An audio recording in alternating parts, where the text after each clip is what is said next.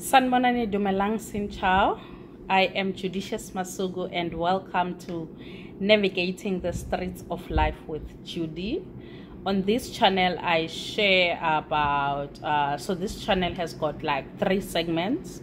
One is teaching and living abroad, two is um, topic based conversation, and number three is. Uh, all about me where i share about my personal stories and personal experiences. So welcome.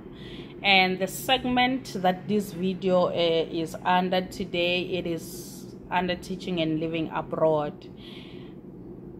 Few days ago i made a video uh, mentioning to you guys that uh, i deleted the video about teaching in uzbekistan the reason is that uh, I included uh, information that was not supposed to be there in the video. So now the Ministry of Education reached out to me to say that uh, I need to delete that video because I was not supposed to reveal the salary and also the benefit, I guess and they mentioned that I also gave you like interview questions, but I don't remember giving you the interview questions. But that's that's it. That's okay.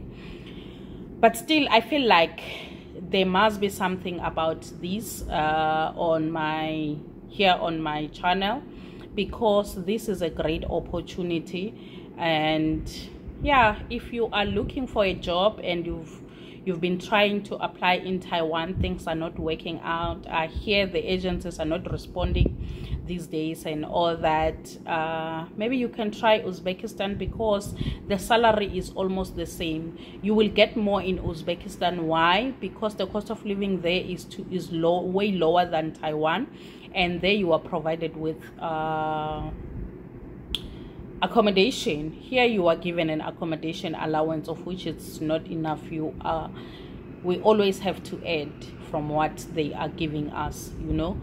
So i would encourage you to send your application to uzbekistan. You apply directly to the ministry of education. Uzbekistan is a country in the central asia it is just next to the middle east. It is not very far from africa.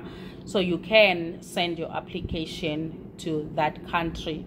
Uzbekistan and kazakhstan they are currently uh, looking for english teachers because they have been closed for a long time and now they are slowly trying to open up their country to international relations you know they want to relate to people outside uh, those countries. And then english teaching english in that country is one of the ways that will make it happen for them to relate with other uh, countries. Because if you can speak english you can you can communicate with anyone right? So now yeah they need uh, you can have a degree in anything plus a TESOL certificate, though they prefer people with BEd, PGCE, and teaching license. But it doesn't mean that when you have you don't have that, you don't stand a chance. You still stand a good chance of uh, getting in. I know quite a few people who are in already. They got the job after the video.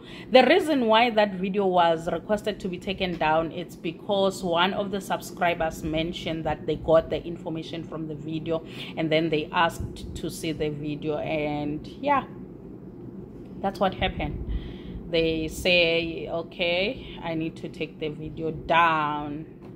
And yeah if you want to know more information regarding this post then uh, i will you can dm you can dm me whether on facebook or instagram. I go by the same name judicious masuku. Yeah wish you all the best.